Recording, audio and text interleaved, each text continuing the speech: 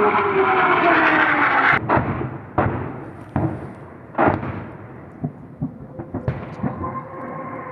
င်းနီလာအေးဆိုတဲ့စကလုံးမှာအားလုံးရဲ့ပစက်ဖြားတယ်မှာတူတူပြောနေရလောက်အောင်ကိုတိုက်ခိုက်ရေးစွန့်ရင်ကြီးမားခဲ့ပါတယ်။ဒါကဘယ်လိုဖြစ်တယ်လဲဆိုတော့ရှမ်းပြည်နယ်မြောက်ပိုင်းမှာရှိတဲ့ပလောင်ကိုပိုင်အုပ်ချုပ်ခွင့်ရဒေသနမ်ဆန်ဘက်မှာဒီကုန်းတာရွာမှာဒီစစ်ကောင်စီကလေကြောင်းတိုက်ခိုက်မှုတွေနမ်ဆန်နဲ့မန်တုံကနေအမြောက်ကူပေးတာတွေ ပြီးတော့မြေပြင်ကနေရဟန်းရီကနေစင့်တက်ပြီးတော့ထိုးစစ်စင်လောက်တာကြီးဘာကြောင့်မအောင်မြင်ရတယ်လဲဆိုတာကိုကျွန်တော်တို့တင်ဆက်ပေးတော့မှာဖြစ်ပါတယ်အဲ့တော့ကိုယ်တိုင်ရှေ့ရောက်တဲ့မှတ်တမ်းဗီဒီယိုတွေနဲ့တကွကျွန်တော်တို့အစအဆုံးကြည့်ချူသွားပေးပြီးတောင်းဒါဆိုဖုန်းကြီးဖြစ်ပါတယ်ဒါကတော့ဖုန်းကြီးကျောင်းလက်ရှိအခြေအနေဖြစ်ပါတယ်ဖုန်းကြီးကျောင်းလက်ရှိအခြေအနေရော့ဘရန်ရဲ့ဖုန်းကြီးကျောင်းအခြေအနေရော့ဘရန်ရဲ့ ဖုန်းကြီးကျောင်းရဲ့လက်ရှိအခြေအနေဖြစ်ပါတယ်ဒါရတော့အလုံးအမကိုပြည့်စည်ဆုပ်ယုပ်သွားပါတယ်ဒါလေကြောင်းတိုက်ခိုက်မှုဖြစ်ပါလေကြောင်းတိုက်ခိုက်မှု9ရက်ဆက်တိုက်လေကြောင်းတိုက်ခိုက်မှုဖြစ်ပါတယ်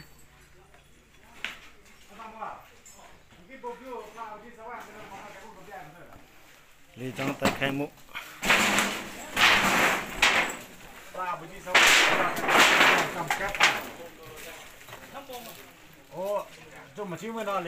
ရှမ်းပြည်နယ်မြောက်ပိုင်းပလောင်ကိုပိုင်အုပ်ချုပ်ခွင့်ရတဲ့ကနမ်ဆန်မြို့ရဲ့အနောက်မြောက်ဘက်မှာဒီအန်ပလောင်မြို့သားလူမျိုးရေးတပ်မတော်ဌာနတစ်ခုကိုဒီအာနာသိန်းစစ်ကောင်စီကလေကြောင်းတိုက်ခိုက်မှုတွေမြေပြင်တိုက်ခိုက်မှုတွေမြောက်ကူပေးတာတွေကိုအတုံးပြုတ်ပြီးတော့တိုးပင်မဲ့နောက်ဆုံးမှာတော့ဒီအရှုံးနဲ့ပဲရင်ဆိုင်သွားခဲ့ရမှာအဲ့တော့စစ်ကောင်စီကဒီလေကြောင်းတိုက်ခိုက်မှုတွေလက်နက်ကြီးပစ်ကူတွေအများအများသုံးပြီးတော့ဒီ TNW တပ်စခန်းတစ်ခုကိုဒီရဟတ်ရင် လေးစီးနဲ့ဆင့်တပ်ပြီးတော့ဒီတက်ခတ်ခဲ့ပေမဲ့ TNLA ရဲ့ဝမ်ပတ်ချင်းမုံခံလိုက်ရခဲ့ပါတယ်။အဲ့တော့စကိုင်းတိုင်းအတွင်းမှာဒီခုခံတော်လှန်နေတဲ့သူတွေကိုလေကြောင်းကနေတိုက်ခိုက်မှုပြုလုပ်ပြီးတော့ဒီဒီအောင်ပွဲဆင်းနွှဲခဲ့ပေမဲ့ဒီယခုတစ်ချိန်မှာတော့ဒီအရှုံးပေါ်ခဲ့ရပါတယ်။စီရလေးလာသူတွေကလည်းဒီစိတ်ဝင်စားဆန်းစစ်နေတဲ့ကိစ္စရဲ့တစ်ခုလည်းဖြစ်လာပါတယ်။အဲ့တော့ဒီတန်းတောင်တန်းတွေစီချစ်တက်လာတဲ့အာနာသိန်းစစ်ကောင်စီကဘယ်လိုရှုံးနေသွားခဲ့တယ်လဲဆိုတော့ အင်အား130ခန့်ပါဝင်တဲ့ရဟတ်ရင်ငါးစီးကဒီဇင်ဘာ9ရက်နေ့နေ့လယ်နှစ်နာရီခွဲဝန်းကျင်မှာဒီကုံတာဟိုမန်ပန်လော့ပိန်းလုံရွာမှာစီးနင်းတိုက်ခတ်ခဲ့ပါတယ်အဲ့တော့အကြောင်းပြချက်ကတော့ဒီနိုဝင်ဘာ18ရက်နေ့မှာစစ်ကောင်စီကဒီအာမူမိတ်နေမှာပေါ့နော်ဒီ TNI ရဲ့မဟာမိတ်ဖြစ်တဲ့ AA စခန်းတစ်ခုမှာဒီတိုက်81ချေမုံရန်ဖယ်တွေတင်စီခဲ့ရတယ်တဲ့အဲ့တော့ဒါတွေက TNI ကနေလာပြီးတော့ဒီ အာပြည်သူ့ကာကွယ်ရေး PDF တွေကိုလေ့ကျင့်ပေးနေတယ်လို့ယူဆပြီးတော့ TNI ကိုဒီအလစ်ငိုက်လေကြောင်းချီတိုက်ခတ်ခဲ့ပါတယ်။သူပေမဲ့ဒီစစ်ကောင်စီရဲ့ရဟတ်ရင်တစီက TNI တပ်ဖွဲ့တွေကင်ပုံဝတ်နေတဲ့နေရာကနေမှားယွင်းစစ်တက်ခဲ့တဲ့အတွက်ကြောင့်ဒီ TNI ဘက်ကလည်းပြစ်ခတ်တိုက်ခတ်ခံလိုက်ရပါတယ်။အဲ့တော့အဲ့ဒီလေရင်ကလည်းဒီမုံမိတ်မှာဒီမိုးကာနဲ့ဖုံးအုပ်ထားခဲ့ရပါတယ် အဲ့တော့ဒီဇင်ဘာ9ရက်နေ့ည9နာရီကစပြီးတော့ Jack လီယင်နဲ့ဘုံကျဲတိုက်ခတ်ခဲ့ပါတယ်ပြီးတော့ဓာအပြင်ဒီမန်တုံနဲ့နမ်ဆန်ကနေလက်နက်ကြီးပစ်ကူတွေအများကြီးတုံးခဲ့ပါတယ်အဲ့တော့ဒီနောက်နေ့ဖြစ်တဲ့ဒီဇင်ဘာ10ရက်နေ့မှာလည်းဒီရဟရင်နှစ်စီးနဲ့စစ်သား50ခန့်ထပ်မံပြီးအများဖြစ်ခဲ့ပါတယ်တော့ရခင်ပြစ်ထားတဲ့130ကျော်နဲ့50ထပ်ပေါင်းမယ်ကျွန်တော်တို့တက်လာတဲ့ဒီ လူဒီအင်အားတွေက180နီးပါးရှိခဲ့ပါတယ်။အဲ့တော့ဒီကုန်းတာမှာဒီကျင်နာဝေဆိုတာကဒီတရင်တစ်ခုစာလောက်ပဲရှိတယ်။တတ်မဟာတော့မဟုတ်ဘူးပေါ့နော်။ကုန်းတာဆိုတာကရွာလေးဖြစ်ပါတယ်။အဲ့ဒီကုန်းတာရဲ့အပြိုင်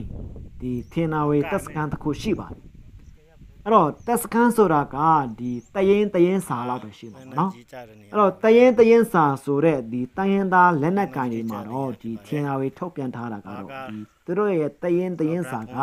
လူရင်း120ကနေ250အတွင်းရှိပါတယ်တဲ့ဒါပန်းဘလုံးအဲ့တော့တိုက်ပွဲက6ရက်ဆက်တိုက်လေကြောင်းတိုက်ခိုက်မှုအပြင်းထန်ဖြစ်ခဲ့ပြီးတော့ပထမအဆုံးနေရာလူလာချတဲ့နေရာပေါ့ဒီမှာဒီနေရာမှာလူလာချတော့ကတောင်စစ်သားတွေရှိမှန် TNL ရှိမှန်သူတို့မသိတဲ့ခါကျတော့အဲအလဲမှာကြားအလဲမှာတားကောင်လာချတယ်လို့ဖြစ်သွားတာပေါ့နော်အဲအချိန်မှာ ဒီဇင်ဘာ12ရက်နေ့ညပိုင်းမှာကျတော့ဒီမြေပြင်တိုက်ခိုက်မှုတွေရက်သွားခဲ့တယ်သူပေမဲ့ဒီဇင်ဘာ23ရက်နေ့မှာဒီလေကြောင်းတိုက်ခိုက်မှုတွေမန်တုံကနေနမ်ဆန်ကနေဒီ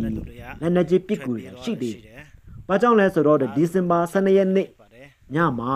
ဒီဒီစစ်ကောင်စီတွေကထွက်ပြေးသွားခဲ့တာရှိပါတယ်ပထမဆုံးလူချအဲ့တော့ထွက်ပြေးလွတ်မြောက်တဲ့ပုံမှာသူတို့ကဒီ TNR တင်နီလာအေးအဖွဲ့ကဒီလိုက်လံတုတ်တင်ခဲ့တာဖြစ်ပါတယ် အဲ့ဒီအတွက်ကြောင့်သူတို့ကလန်နာဂျီပစ်ကူတာဒီ73ရက်နေ့အထိကလှုပ်လာခဲ့တာရှိပါတယ်ဗောနော်လင်းနဲ့ပေါ့နော်အဲ့တော့ဒီဒီဇင်ဘာ12ရက်နဲ့17ရက်နေ့မှာဒီ TNR တင်နီလာအေးအဖွဲ့တွေကဒီစစ်ကောင်စီဝင်စင်းနေခဲ့တဲ့ကုန်းတာဟူမန်ပန်လော့ရွာတွေကိုအကုန်လုံးကိုအပြည့်အဝကိုထိမ့်ချုပ်နိုင်ခဲ့ပြီးဖြစ်ပါတယ်ဒါလင်းနဲ့အဲ့တော့ဒီနမ်ဆန်ကတင်နီလာအေးတို့ရဲ့တိုက်ပွဲကတော့လုံးဝကိုအပြင်းထန်ဖြစ်ခဲ့ပါတယ်။ဘာကြောင့်လဲဆိုတော့ဒါကဒီလေကြောင်းတိုက်ခိုက်မှုတွေမြေပြင်ထိုးစစ်တွေ အမြောက်ကူပေးတယ်အများပြားသုံးခဲ့ပါတယ်။အဲ့တော့ဒီတိုက်ပွဲမှာဒီစစ်ကောင်စီရဲ့အတွက်ကအဘက်ဘက်ကနေကိုအထိနာခဲ့တာဖြစ်တယ်။ပြီးတော့ဒီစစ်ကောင်စီတွေရဲ့တပ်ဖွဲ့ဝင်80နဲ့အထက်တေဆုံးပြီးတော့ဒီတပ်ဖွဲ့ဝင်28ယောက်ကိုလည်း TNW ကအရှင်ဖမ်းမိခဲ့တယ်သိရပါတယ်။အဲ့တော့ဒီတိုက်ပွဲကဒီကုန်းတာမှာအဓိကဖြစ်သွားတာဖြစ်ဖြစ်ပြီးတော့ဒီစစ်ကောင်စီတပ်သားတွေထွက်ပြေးတာကလည်းတချို့ကလည်းအရင်နေ့17ရက်နေ့12ရက်နေ့ကနေထွက်ပြေးပြီးတော့ဒီ တချို့ကလည်းဒီကုန်းတာမှာရှိတဲ့အဖွဲ့တွေကိုတွားပြီးပူးပေါင်းခဲ့တာသိရတယ်။အဲ့တော့ဒီတိုက်ပွဲကအဓိကတော့ကုန်းတာရွာဖြစ်ပါတယ်။အဲ့တော့ဒီကုန်းတာရွာမှာဆိုရင်တော့ဒီအိမ်တွေလုံးဝကိုမီးလောင်ပြာကျတော့ရှိတယ်။ပြီးတော့ကြန့်ရှိတဲ့အိမ်တွေကလည်းလုံးဝကိုနေလို့မရအောင်ပျက်စီးသွားခဲ့တယ်။နောက်တစ်ချက်ကဖုန်ကြီးကျောင်းနဲ့စာတင်ကျောင်းကလည်းလုံးဝကိုသုံးလို့မရအောင်ကိုပျက်စီးသွားခဲ့ပါတယ် အဲ့တော့ဒီစစ်ကောင်စီတပ်ဖွဲ့တွေကလည်းအရင်ကတော့ဟွန်မန်မှာရှိတဲ့တပ်ဖွဲ့ဝင်တွေပန်လော့မှာရှိတဲ့တပ်ဖွဲ့ဝင်တွေကလည်းဒီထွက်ပြေးပြီးတော့ဒီကုန်းတာမှာရှိတဲ့ဖွဲ့နဲ့တွားပြီးတော့ပူပေါင်းတယ်အဲ့တော့17ရက်နေ့ကတည်းကဒီ10ရက်နေ့17ရက်နေ့ကတည်းကဒီစစ်ကောင်စီဘက်ကဒီဒီနေရာအေးတို့ကိုတောင်းတောင်းပန်ပန်ခက်ခါရရနဲ့တောင်းဆိုပြီးတော့သူတို့ရဲ့တပ်သားတွေကိုပြန်ခေါ်ဖို့တောင်းဆိုခဲ့တာသိရပါတယ် တို့ပေမဲ့ဒီတင်နေလာအေးတွေဖွဲ့ကလည်းလုံးဝကိုရန်လာစတဲ့ဒီစစ်ကောင်စီကတော့လုံးဝကိုလက်လုပ်ပေးမှာမဟုတ်ဘူးဆိုတော့ဒီပြောဆိုပြီးတော့ဒီစော်ပလော်တီးလိုက်တာပေါ့နော်အဲ့တော့စော်ပလော်တီးလိုက်တဲ့ခါမှာဒီစစ်ကောင်စီကလည်းဒီလုံးဝကိုသူတို့ရဲ့လူကိုပြန်ကယ်လို့မရတဲ့အနေအထားဖြစ်တဲ့ကြတော့ဒီဒီမိုးမိတ်ဘက်ကဒီဟိုရေပုံးရွာဘက်မှာရှိတဲ့တပ်ဖွဲ့တွေလည်းအများပြားရှိပါတယ်အဲ့တော့အဲ့ဒီကန်တွေလည်းပိတ်ဆို့ပြီးတော့တိုက်ခိုက်ခိုင်ခဲ့ရပါတယ် အဲ့ဒီအတွက်ကြောင့်မို့လို့ပဲဒီ73ရက်နေ့မှာအထီကဒီလေကြောင်းတိုက်ခိုက်မှုတွေလန်နာဂျစ်ပစ်ကူတွေရှိနေစေဆိုတာဖြစ်ပါတယ်ဆိုတဲ့ခါကျတော့ဒီတိုက်ပွဲကရက်ရှည်တိုက်ပွဲဖြစ်ပြီးတော့ဒီလုံးဝကိုအပြင်းထန်တိုက်ပွဲဖြစ်ပွားခဲ့ပါတယ်စစ်ကောင်စီဘက်ကလည်းအဖက်ဘက်ကနေလုံးဝကိုကြာရှုံးသွားတာဖြစ်ပါတယ်အဲ့တော့ဒီလက်နက်ကြီးကြတဲ့နေရာမှာဒီဘုံသီးတွေက900ပေါင်ရှိတဲ့ဘုံသီးတွေကစအသုံးပြုထားတာတွေ့ရပါတယ် စစ်ကောင်စီကဒီတင်နီလာအေးနဲ့ဒုတိယအကြိမ်ဆုံးရှုံးခြင်းဖြစ်ပါတယ်ပထမတော့ကဒီ2020နှစ်ဆန်းမှာရခိုင်ပြည်နယ်မှာဖြစ်ခဲ့တဲ့တိုက်ပွဲရှိခဲ့ပါတယ်အဲတုန်းကလည်းဒီ AA တွေကဒီအမှတ်ခွန်ချိန်မြန်တက်ရင်ကိုဝိုင်းပြီးတော့ချိန်မုံခဲ့တယ်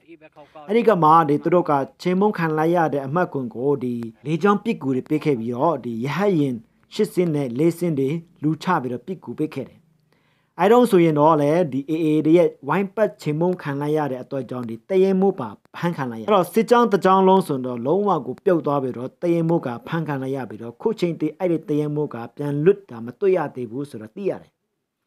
အဲ့တော့လေကြောင်းချစ်စစ်စင်ရေးကိုဒီစစ်ကောင်စီကအာဏာသိမ်းပြီးနောက်မှာပြည်သူလူထုတွေရဲ့အုံကြွမှုနဲ့တန်ရာမလုံလောက်မှုကြောင့်လေကြောင်းပစ်ကူတော့အသုံးပြုရလေကြောင်းတွေနဲ့လူတွားချချပြီးတော့စခန်းတွေကိုတက်သိမ်းမယ်ဆိုတဲ့အနေအထားပေါ့နော်ဒါကအမေရိကန် စကားတွေမှာပဲရပါဘောနော်ဒါကဘာလဲဆိုတော့ဒီစစ်ကောင်စီခေါင်းဆောင်တွေကဒီအမေရိကန်စကားတွေကြည်ပါများနေတဲ့ပုံရပါတယ်အဲ့တော့ဒီလိုစင်းနေတိုက်ခိုက်မှုတွေကဒီတကယ်ကိုဝါရင်တိုက်ခိုက်ရေးကောင်းမွန်တဲ့ EAO အဖွဲ့ဒီလိုဒီတင်နေလာအေတို့အဖွဲ့ဒီလိုမှာကျတော့လုံးဝကိုပြုတ်စော်ခံနိုင်ရပါတယ်အဲ့တော့လေချောင်းစင်းနေတိုက်ခိုက်မှုမှာကတော့ဒီလက်နက်အင်အားနဲ့ပါပြီးတော့စနစ်တကျစုဖွဲ့မှုမရှိတဲ့စကိုင်းက PDF ဒီမှာကျတော့သူတို့က အလုတ်ဖြစ်ခဲ့ပြီးတော့တိုက်ပွဲတွေအောင်ခဲ့ပြီးတော့သူ့ပေမဲ့လက်နက်အင်အားတောင်းတင်းပြီးတော့စုဖွဲ့မှုအားကောင်းတဲ့တီနီလာအေတို့အဖွဲ့နေကြတော့တွေ့တဲ့အခါကျတော့လုံးဝကိုအရှုံးနဲ့တာကိုပတ်ပတ်ဆက်ဆက်ကြုံခဲ့ရတယ်ဖြစ်ပါအဲ့တော့အခုလိုစစ်ရှုံးရတာဟာပထဝီနေထားတသက်တော့မဟုတ်ဘူးเนาะအဲ့တော့သူကကုန်းတာမှာအများဆုံးဆင်းတယ်ပြီးရင်ဒီတက်ကိုတွေကိုကုန်းတာမှာပြန်ဆုပ်ပြီးတော့ရဟရင်နဲ့ပြန်ထွက်ဖို့စီစဉ်ထားပုံရအောင် ပြဿနာကဒီ TNR ကအားလုံး1ပတ်ပြီးတော့ဒီ0.5တွေတရားခွင့်မမတွေတုံးပြီးတော့ပြန်တိုက်လိုက်တဲ့ခါမှာဒီရဟတ်ရင်ကပြန်ဆင်းလို့မရတယ်သူတို့ရဲ့လူတွေကိုပြန်ခေါ်လို့မရတယ်အဲ့တော့မြေပြင်ကစစ်ကူတွေကလည်းရောက်မလာတဲ့ခါမှာဒီကွာကိုဖောက်ထွက်ခဲ့ရတယ်အဲ့တော့မြေပြင်တရေရဆိုရင်တော့သူတို့က17ရက်နေ့နဲ့12ရက်နေ့ကတည်းကိုညအပိုင်းမှာလုံးဝကိုထွက်ပြေးသွားတယ်နော်အဲ့တော့ ထွက်ပြေးပေးမဲ့လေဒီထင်နာဝေကရေဘုံရွာကအထိရှိနေတဲ့အခါကျတော့လုံးဝကိုပိတ်ဆို့ခံခဲ့ရတယ်အဲ့တော့မှအကြောင်းမို့73ရက်နေ့အထိကိုလေးချောင်းပစ်ကူတွေတုံးခဲ့တယ်အဲ့တော့10ရက်နေ့နဲ့9ရက်နေ့ကတည်းကသူတို့ကထင်နာဝေကိုဒီတောင်းပန်တာရှိခဲ့ပါတယ်သူတို့ရဲ့တိုက်လူတွေကိုပြန်ခေါ်ဖို့တောင်းဆိုခဲ့ပေမဲ့ထင်နာဝေကလက်မခံတဲ့အတွက်ကြောင့်အလုံးကိုဒီအတုံးယုံကိုတေခဲ့ရတယ် အန်းငရေလေးလာတုံးသက်သူဆိုရန်ကလည်းဒီကချင်ပြည်နယ်က KIA ရဲ့အနံပါစခန်းကိုဒီစစ်ကောင်စစ်ကလေကြောင်းတိုက်ခိုက်မှုပြုလုပ်စဉ်ခင်ကတဲ့ကဒီတီနေလာအေးတို့အဖွဲ့ကလည်းဒီတရိထားပြင်ဆင်ခဲ့ကြောင်းဆိုတော့ပြောပါတယ်ဖာကန်အနံပါဘုံကျဲခံရစဉ်ကတဲ့ကဒီတော်လိုင်းရေးသမားတွေတော့တင်ကန်းစာဖြစ်စီခဲ့ပါတယ်ဒါကြောင့်ဒီထီနာဝေဘက်ကလည်းကြိုတင်ပြင်ဆင်မှုရှိတယ်စစ်ကောင်စီတွေကလည်းလာနိုင်တယ်ဆိုတော့ကြိုခံမှန်းထားတယ်ပွေလမ် ခမန်းထားတဲ့အတိုင်းလဲတက်လာတဲ့ခါမှာတော့ဒီတင်နီလာအေးအဖွဲ့ကတော့လက်သွေးစီးရလက်ကျင့်နေတဲ့အချိန်ပပင်တိုးတဲ့ခါမှာကွက်တိကိုကြတဲ့ခါကျတော့ဒီစစ်ကောင်စီဘက်ကလုံးဝကိုအထိနာသွားတာယူဆရပါတယ်အဲ့တော့မြန်မာနိုင်ငံခြေဆိုင်စီးရလစ်လာတုံးတက်သူချုပ်ကလည်းဒီစစ်ကောင်စီရဲ့လေးချောင်းချီစစ်စင်ရဲ့ဟာဒါကဒီတင်နီလာအေးအဖွဲ့နေတယ်ဆိုရင်ဒုတိယအကြိမ်ကြာရှုံးခြင်းဖြစ်ပါတယ်ပထမအကြိမ်ကဒီရခိုင်ပြည်နယ်မှာကြာရှုံးတာဖြစ်တယ်ဒါကဒုတိယအကြိမ်မှာလုံးဝကိုပြင်းပြင်းထန်ထန်ကြာရှုံးတာဖြစ်ပါတယ် အဲ့တော့ဒီကြာရှုံးခြင်းကဒီစစ်ကောင်စီရဲ့အတွက်လုံးဝကိုတက်ရောက်မှုရှိပြီးတော့ကြာရှုံးမှုကလုံးဝကိုတက်ရောက်မှုအများပြားရှိပြီးတော့ဒီလက်နဲ့တက်ဆင်မှုအားကောင်းတဲ့ဒီတန်ရသား EAO တွေကျမှဒီလေကြောင်းတိုက်ခိုက်ဖို့ဆိုတာကလုံးဝကိုကြီးတစိုက်နဲ့ပုံမလှုပ်ဆောင်လာနိုင်တယ်ဆိုတာကိုမှတ်ချက်ပြုကြပါအမြန်မာနိုင်ငံမှာဗိုလ်ချုပ်ကြီးမင်းအောင်လှိုင်လက်ထက်2017ကနေစပြီးတော့ကြီးရီလေအမြောက်တန်းချက်ကာတွေ